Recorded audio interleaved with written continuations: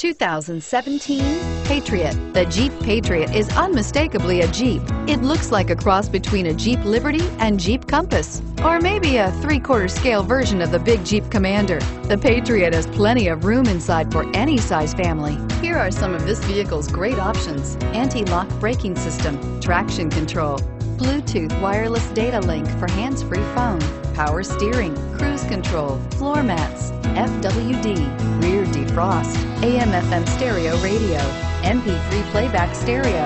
A vehicle like this doesn't come along every day. Come in and get it before someone else does.